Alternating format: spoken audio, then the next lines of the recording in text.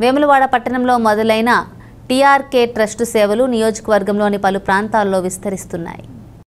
వేములవాడకు చెందిన ఎన్ఆర్ఐ తోట రామ్ కుమార్ ఆధ్వర్యంలో ఏర్పాటు చేసిన టీఆర్కే ట్రస్టు ఆధ్వర్యంలో చందుర్తి మండలంలోని మల్యాల లింగంపేట దేవుని తండా డైరెక్టర్లు మహేష్ కుమార్ ప్రధాన కార్యదర్శి శేఖర్ నిరుపేదలకు నిత్యావసర సరుకులు పంపిణీ చేశారు.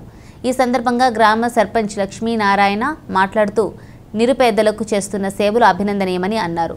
వీరితో పాటు మాజీ మార్కెట్ కమిటీ చైర్మన్ డప్పుల అశోక్ మాట్లాడుతూ నిరుపేదలకు మానవతా దృక్పథంతో ట్రస్టు ఆధ్వర్యంలో గ్రామ గ్రామాన సేవలు చేస్తూ నలుగురికి ఆదర్శంగా నిలుస్తుందని ఈ కార్యక్రమంలో MPTC Ramesh Rao KDCC bank director Kishan Rao నాయకులు విజయేందర్ రంజిత్ ప్రజాప్రతినిధులతో పాటు ట్రస్టు సభ్యులు కేవీ మహేష్ రెడ్డి సంతోష్ సందీప్ దీపక్ ప్రతాప్ విజయ్ రాకేష్ కృష్ణ శ్రీధర్ తదితరులు పాల్గొన్నారు.